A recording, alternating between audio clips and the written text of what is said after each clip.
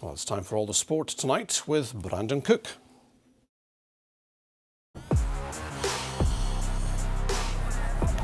Get your fill of the action. STV Sport, sponsored by Papa John's.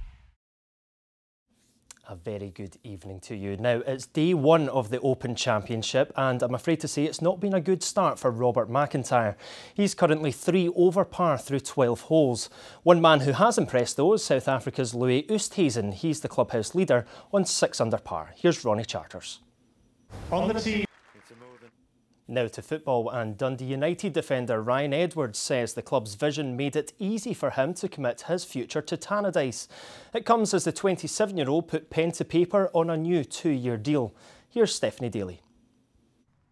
As the sun shone in St Andrews today, in Stephanie Daly, STV News.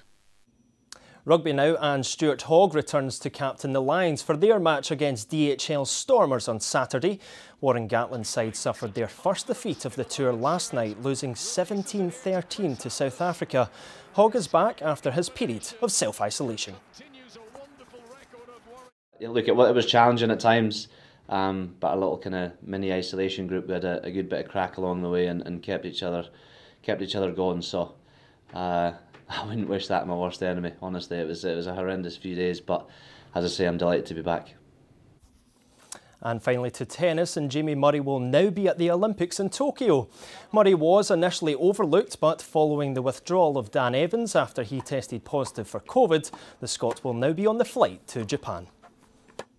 And we wish him all the very best and all the other Team GB athletes all the very best of luck when the games begin a week tomorrow. Can you believe it? It's only a year late. That's all from me this evening.